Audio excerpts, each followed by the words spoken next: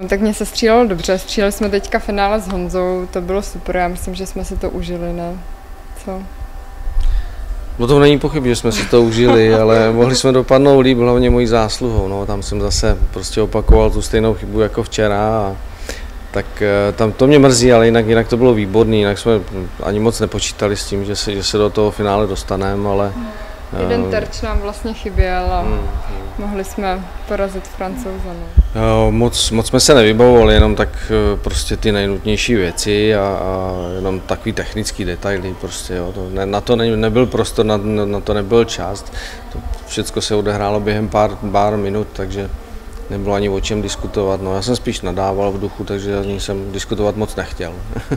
Tak jo, určitě kamarádství mezi náma je, vycházíme spolu dobře a samozřejmě, když spolu dobře vycházíme, tak se nám pak i ve dvou bude líp střílet.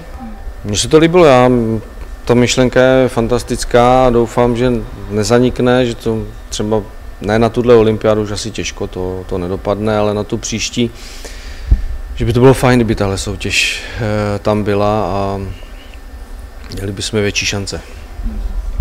Jo, taky se mi to líbilo, je to vlastně možnost další medaile, je to zase pro diváky zajímavější střílet takhle ve dvou, takže určitě. Tak Honza mi určitě může předat spoustu zkušeností, může mě poradit, vlastně střílí na levou stranu stejně jako já.